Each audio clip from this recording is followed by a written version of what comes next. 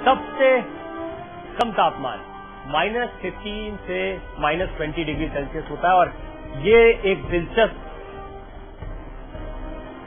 जानकारी है इस पोल के बारे में कि यहाँ आठ महीने की रात होती है और तीन महीने का दिन होता है। यानी लगातार आठ महीने रात और लगातार तीन महीने दिन जब गर्मी का समय होता है और यहाँ पर इन तीन महीनों में ही काम किया जा सकता है। वैज्ञानिकों के लिए बहुत चुनौतियाँ होती हैं, क्योंकि ये तीन महीने भी आसान नहीं होते हैं। बाकी के आठ महीने यहाँ पर इंसान रह नहीं सकता जब सर्दी होती है और ये ठंड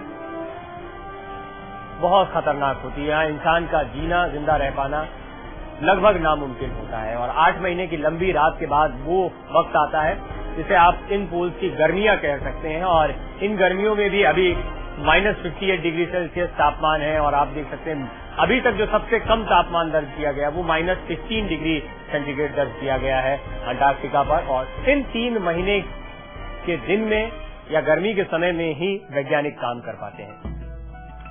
ये है दिलचस्प जानकारियाँ जिन्हें जुटाने में लगे हुए वैज्ञानिक। अंटार्कटिका की बर्फीली इस मोटी चादर के नीचे बहुत सारे रहस्य हैं और उम्मीद ये है कि इसके नीचे अंधेरी झीलें हो सकती हैं, कई झरने हो सकते हैं, चट्टाने हो सकती हैं, जो महत्वपूर्ण जानकारियाँ दे सकती हैं मानव इतिहास के बारे में।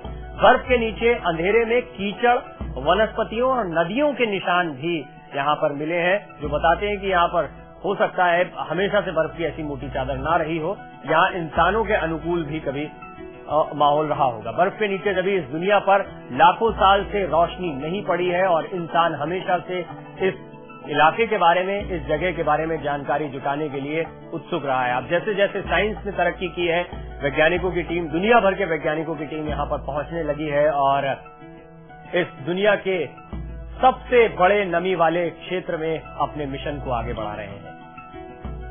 महत्वपूर्ण जानकारियाँ जो मिल सकती हैं आने वाले समय में या जिनके निशान अभी मिल रहे हैं, वो ये कि बर्फीली चादर के नीचे पहाड़ हो सकते हैं, कई घाटियाँ हो सकती हैं, झरने हो सकते हैं।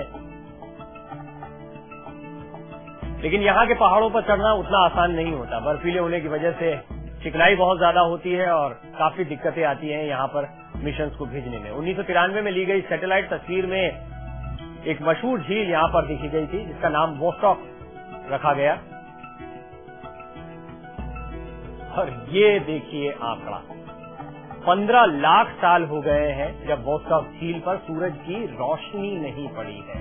इस तरह की अंधेरी झीलें हैं, बर्फ़ की चादर के नीचे दबी हुई, मोटी चादर के नीचे दबी हुई, जिनका रहस्य जानने के लिए कुलदीप वली साहब और ऐसे तमाम वैज्ञानिक लगे रहते हैं और उनकी जान को हमेशा खतरा रहता है। इस मौसम में खुद को बनाए रख पाना एक बहुत बड़ी चुनौती है।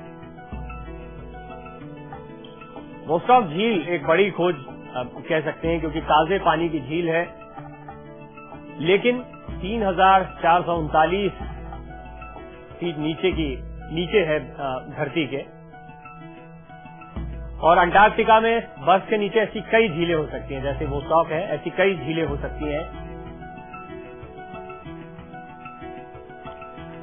जो मिशन था मैत्री का वो ये था कि किस तरह मौसम में बदलाव हो रहा है, उसके बारे में जानकारी हासिल की जाए और कई बदलाव होते रहते हैं क्योंकि यहाँ पर तीन महीने का दिन, आठ महीने की रात होती है। ऐसे में इन बदलाव में बर्फ़ के नीचे मौजूद पानी पर या दूसरी चीज़ों पर क्या असर पड़ता है, वैज्ञानिक इसकी जाँच पड़ताल में भी जुटे हुए हैं।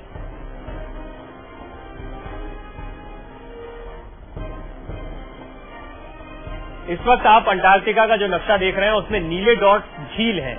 वो झीलें जो अभी तक आइडेंटिफाई की गई हैं अंटार्कटिका पर।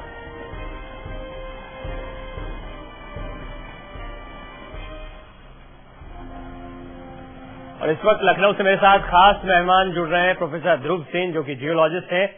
प्रोफेसर साहब बहुत स्वागत है आपका लाइव इंडिया पर। और सबसे पहले आपसे यही जानना चाहेंगे आ, बहुत चुनौतियाँ होती हैं। हमने देखा कुलदीप वली साहब जैसे कई वैज्ञानिक हैं जो अपनी जान जोखिम में डालकर यहाँ पर जानकारियाँ जुटा रहे हैं।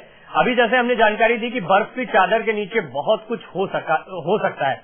आप आर्कटिक मिशन के बारे में जानते हैं तो क्या ध्रुवों ध्रुवों पर ऐसी बहुत सी जानकारियाँ हैं जो रहस्यमयी हो सकती हैं चौंकाने वाली हो सकती हैं तो सबको पता है कि जलवायु परिवर्तित हुई है, जलवायु परिवर्तित हो भी रही है और आने वाले दिनों में जलवायु परिवर्तित होगी भी। और सारे विश्व के वैज्ञानिक इसी रहस्य को पता करने में लगे हुए हैं कि आने वाले दिनों में जलवायु किस तरह से परिवर्तित होगी। क्योंकि ध्रुवीय क्षेत्र जो है आर्थिक और अंटार्कटिक, ये एक ऐसे क्षेत्र हैं जहाँ पर मानव का प्रभाव हम मान सकते हैं कि मिनिमम हो रहा है। यहाँ पे एंथ्रोपोजेनिक इम्पैक्ट मिनिमम है या हम ये कह सकते हैं कि यहाँ पर प्रदूषण भी न्यूनतम है। तो इसलिए ऐसे क्षेत्र इस रहस्य को पता करने के लिए सबसे उपयोगी क्षेत्र माने जाते हैं। वैसे तो हम अपने देश में गंगोत्री ग्लेशियर्स से या ग्लेशियर्स का अध्ययन करके भी जलवायु में हो रहे परिवर्तनों का पता लगा सकते हैं। लेकिन ध्रुवीय क्षेत्रों में चूँकि प्रदूषण मिनिमम होता है एंथ्रोपोजेनिक इम्पैक्ट मिनिमम होता है, इसलिए आर्थिक और अंटार्कटिक क्षेत्र जलवायु परिवर्तन के अध्ययन के लिए विशेष रूप से महत्वपूर्ण माने जाते हैं। क्या हम प्रोफेसर ध्रुव यही इंतज़ार कर रहे हैं कि यहाँ पर बर्फ़ पिघलेगी तो कितना जल प्लान होगा या फिर मनुष्यों पर कितना असर होगा? या इसके अलावा कोई ऐसे रहस्य हो सकते हैं जो शायद बहुत गहराई में दबे हुए हों पूरी एक सभ्यता के बारे में जानकारी मिल पाए? ऐसे भी कोई आ, कुछ उम्मीदें हैं वैज्ञानिकों को? हाँ निश्चित रूप से आपने बहुत सही कहा कि इस समय तो हम इंटरग्लेशियल स्टेज में चल रहे हैं जिस समय की तापक्रम बढ़ रहा है। तो हिमनद अंटार्कटिक और आर्कटिक दोनों जगहों के पिघल ही रहे हैं। लेकिन जब ये पिघल जाएँगे तो जैसा आपने कहा कि इसके नीचे हो सकता है बहुत सी चीज़ें छिपी हुई मिले तो ये हम लोग को पता है कि अंटार्कटिका एक समय था, जबकि भारत, अंटार्कटिका, ऑस्ट्रेलिया, ये सब एक दूसरे से जुड़े हुए थे, जिनको हम गोंडवाना लैंड बोलते थे। और जिस तरीके की चट्टाने अपने देश में पाई जाती हैं, गोंडवाना युग की, उस तरीके के चट्टाने हमें अंटार्कटिका पे भी मिलती हैं। तो हो सकता है कि जिस तरीके की की चीज़ें यहाँ पे रही हों, उस तरीके की चीज़ें, सारी चीज़ें और सारे संसाधन हमको वहाँ पर देखने को मिल सकते हैं। हम कुछ तस्वीरें देख पा रहे हैं जहाँ पर अंटार्कटिका पर हवाई जहाज़ के लिए बाकायदा एक रनवे बनाया गया है या फिर दूसरी चीज़ें जो किसी भी वैज्ञानिक मिशन के लिए काम आ सकती हैं।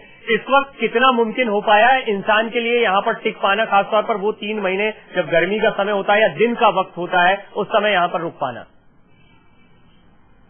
देखिए, अब पिछले करीब आप ये कह सकते हैं कि दो तीन दशकों से अपने देश के भी वैज्ञानिक वहाँ पर हर साल जाते रहते हैं और इस समय जो अपना वहाँ पर केंद्र बना हुआ है अध्ययन के लिए, जो शोध संस्थान बने हुए हैं, जिनको हम पहले गंगोत्री था, फिर उसके बाद से एक मैत्री बनाया गया। तो वहाँ पर वैज्ञानिक सालों साल रहते हैं और वो आंकड़े एकत्रित कर रहे हैं कि किस तरीके से जलवायु परिवर्तन हो रहा है। लखनऊ से भी यहाँ गिरवथानी इंस्टीट्यूट ऑफ़ पिलियो बॉटनी और जियोलॉजिकल सर्वे ऑफ़ इंडिया के वैज्ञानिक वहाँ जाते रहते हैं। एनसीआर गोवा एक सेंटर है इसकी नोडल एजेंसी जो हर साल वैज्ञानिकों को वहाँ भेजती रहती है। तो वहाँ भी इस समय सालों साल वैज्ञानिकों ने अपने रहने के लिए कुछ ऐसे सिस्टम बना लिए जहाँ पे कि वो रह लेते हैं।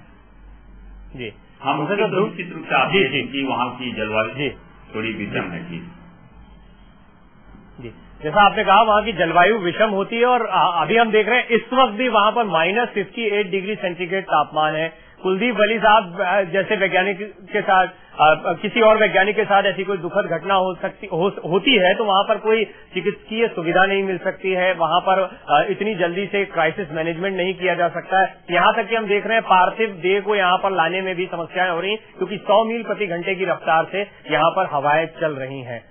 क्या कब तक हमें इंतज़ार करना पड़ेगा या फिर हमको ऐसी कोई टेक्नोलॉजी बनानी पड़ेगी जिसकी जिसकी वजह से हम ऐसे माहौल में या इस तरह के खराब मौसम में भी रिसर्च कर पाए। देखिए, जब हम लोग ऐसे क्षेत्रों में जाते हैं तो एक पूरा उसका मेडिकल टेस्ट होता है। उसके बाद से आदमी जाता है। और जब हम ऐसे ठंडे क्षेत्रों में जाते हैं तो मेंटली प्रिपेयर्ड होके जाते हैं कि यहाँ पे ठंड तो होगी ही। पूर्ण रूपेण मानसिक रूप से और शारीरिक रूप से तैयार होकर वैज्ञानिक लोग वहाँ पे जाते हैं कि हमको इतनी विषम परिस्थिति में वहाँ पे काम करना पड़ेगा। और लोग काम करते भी रहते हैं। ऐसी बात नहीं है कि इतनी विषम परिस्थिति में काम करते भी हैं हम लोग। हाँ निश्चित रूप से यह है कि जब हवा वगैरह चल जाती है तो जो ठंड होती है, जो विंडशील फैक्टर होता है तो जो माइनस में तापक्रम रहता है, हवाएँ वगैरह जब चल जाती हैं तो तापक्रम थोड़ा सा और बढ़ जाता है। तो ये जो एक्सीडेंट है, वो तो किसी के भी साथ हो सकता है।